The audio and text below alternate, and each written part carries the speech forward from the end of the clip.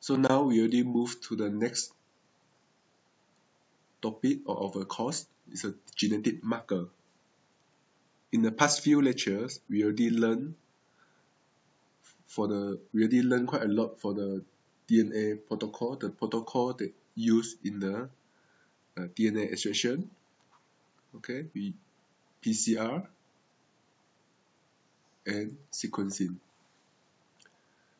So now we're going to go back to a little bit more uh, theoretical background. So if we want to study the DNA before we before we, we want to do the PCR, we have to decide which part of the genome that we want to study. In many cases, we don't really need to study the entire genome. We are only interested in a particular gene that we want to study.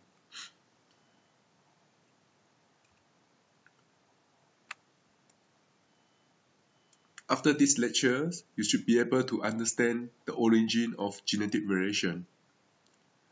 As I said just now, there are many different sections, the part of the genome that you can use to, or uh, you can select for your DNA study.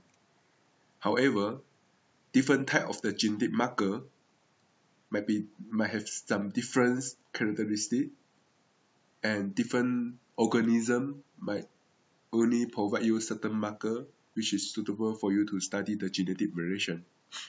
So for this lecture, I will focus first give you the background about the genetic variation, the origin of the genetic variation. And then I will going to discuss more on the genetic marker that can be selected, that can be used for when you study the animal. In the next lecture, we're going to discuss more on the other organism for plant and also for other organism. So for today, first I give you a very short revision. So just a short, very short revision about the cell molecular biology. Okay. Then after that, we discuss a bit about the genetic variation and then the genetic markers, okay, for animals.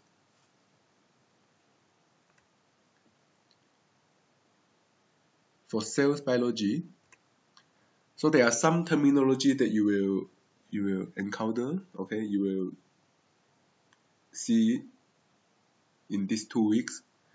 A lot of this terminology actually you have seen in your previous course for cell biology and genetic. So for example, we are going to talk a little bit about the functional gene, coding DNA, non-coding DNA, nuclear marker or organelle marker. So both are the genetic marker, it's just that the genetic information is from different part of the shell, uh, cell. Either it's from the nucleus or from the organelle. Prokaryote, eukaryote cell, so different cell type. The making of the cell is different. So the genetic where they store the genetic information also quite different. And also the some organelle in the eukaryote cell for example ribosome mitochondria and chloroplast and we will talk a little bit about the DNA, RNA, RNA and protein. Large subunit, small subunit, and the name of the different gene or different genetic marker.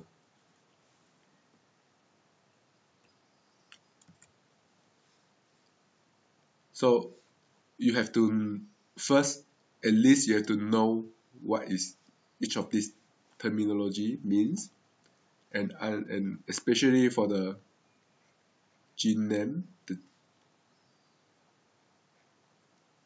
the different type of the gene okay? And what is the characteristic of different type of the gene okay? And different type of the marker. So we're not going to discuss a lot about the function of the gene in specific. We only uh, discuss briefly about the function but somehow you have to at the end of the these two weeks you should have some basic idea for if you see the paper mentioned the 16S okay then you should know what does it mean okay? Which marker is from? Is it from the nuclear marker or organelle marker okay? Or if you read a paper about the molecular phylogeny of a bird so even without going to the detail you already have some basic knowledge that you already can guess which gene that they can they are they have been used in the article. Because birds is a eukaryote cell it's an animal. So it's more likely that will, they will study the nuclear DNA and also the mitochondrial DNA and they're not going to include the psych, uh, chloroplast DNA in their study. And for nuclear DNA you know that for the mammal usually they will use the CO1 uh, so they will use the ITS for less conserved gene or maybe they want to solve the very high phylogeny they will use a 28S which is a more conserved gene than the ITS and for mitochondria maybe it's more likely they use the CO1 okay so we're going to discuss more in detail in the next few slides. So you have learned all this already in your secondary school and even in your cell biology and genetic uh, in your first year. So you know that all cells store their hereditary, hereditary information in DNA. Okay? And all cells replicate their DNA. Okay? By DNA replication, what we call the DNA replication. And all cells transcribe portion of their DNA and RNA. So this is the first, so you just refer to this diagram. So you have the DNA and in the cell itself, when they want to replicate, okay, the DNA, they will do the, they, will, they can replicate by using the DNA polymerase. Then after that,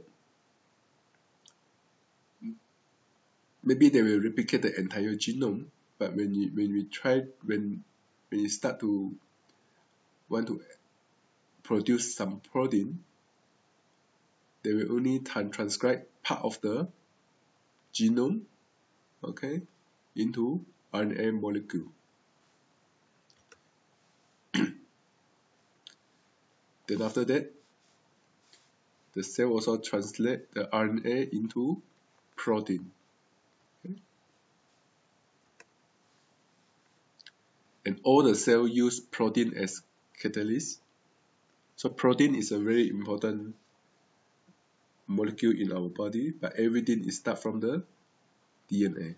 So I didn't discuss in detail how the replication process happen, transcription and translation, because you should learn this in your basic biology already. So each protein, okay, is produced by a fragment of DNA, so a section of the DNA here and what we call it a gene okay? So basically all cell function as a biochemical factory they're dealing with the same basic molecular building block.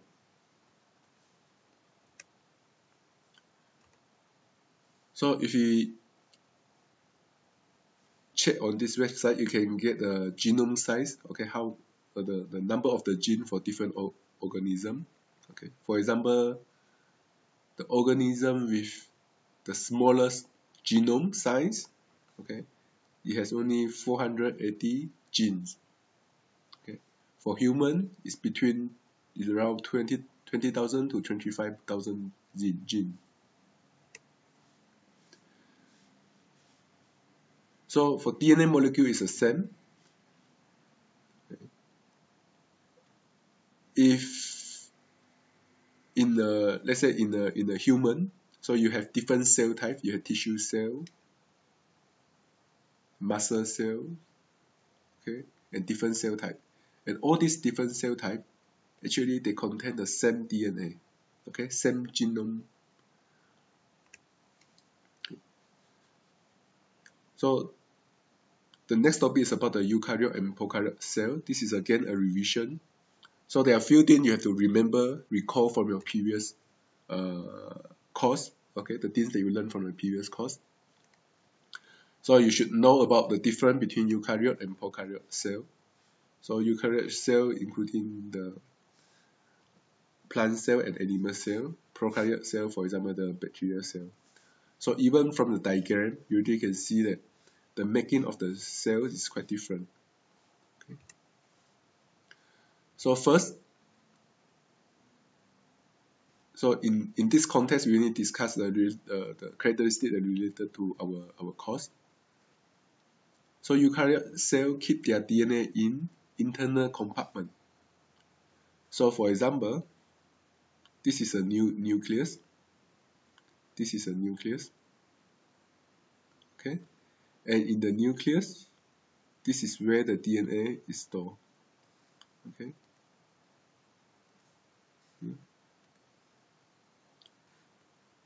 And there also DNA in the chloroplast okay? They also DNA in the mitochondria. Same as animal. You have the DNA in the nucleus you have the DNA in the mitochondria. In any of these eukaryote cell the DNA material is kept in the internal compartment okay okay so for example in nucleus where for prokaryote cell, the DNA is not kept in the internal compartment. Okay. There's no nucleus in the prokaryote cell. There's no nucleus in the prokaryote cell. So these are the DNA.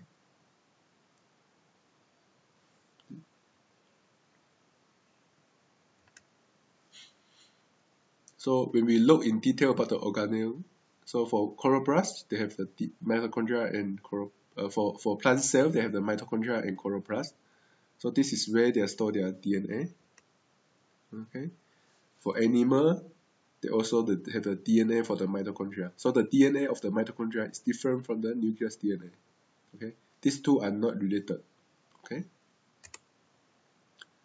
So this is all about the basic about the cell biology.